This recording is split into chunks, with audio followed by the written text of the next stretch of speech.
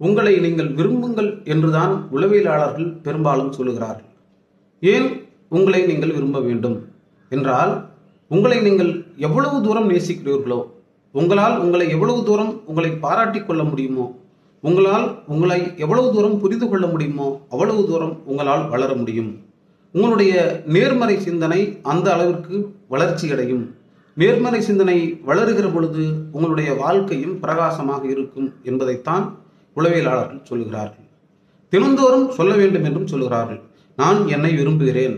நான் என்னை ரசிக்கிறேன். நான் என்னை பாராட்டிக் கொள்கிறேன் என்று உங்களுக்காகவே நீங்கள் முதலில் சொல்லிக் கொள்ள வேண்டும். உங்களை நீங்கள் ரசிக்க வேண்டும். உங்களுடைய வேலையை நீங்கள் ரசிக்க வேண்டும். உங்கள் செயல்பாடுகளை நீங்கள் ரசிக்க வேண்டும். அப்படி ரசிக்கிற பொழுதுதான் மற்றவர்களும் உங்களுடைய வேலையையும் உங்களையும் ரசிப்பார்கள் என்பதுதான் உளவியல் சிந்தனை. ஏன் இவையெல்லாம் தேவையாக இருக்கிறது என்று கேட்டால் உங்களிலிருந்து தொடங்க வேண்டும். எல்லாமும் உங்களிடமிருந்து தொடங்க வேண்டும். பாராட்டும் அப்படித்தான் செயல்பாடும் அப்படித்தான் வெற்றியும் அப்படித்தான். உங்களிடமிருந்து தொடங்குகிற பொழுதுதான் உங்களுக்கு அது கிட்டும். நீங்கள் எதை நேசிக்கிறீர்களோ எதை சிந்திக்கிறீர்களோ அதுவாக நீங்கள் மாறுவீர்கள் என்பதுதான் உலக நியதி. அதை நீங்கள் புரிந்து கொள்ள வேண்டும். எனவே எது ஒன்றையும் தொடங்குவதற்கு முன்பு உங்களை நீங்கள் பாராட்டிக் கொள்ளுங்கள். உங்களை நீங்கள் நேசித்துக் கொள்ளுங்கள். தினந்தோறும் காலையில் எழுந்து சொல்லுங்கள். நான் என்னை நேசிக்கிறேன் என்னை விரும்புகிறேன் என்று நீங்கள் சொல்லுங்கள்.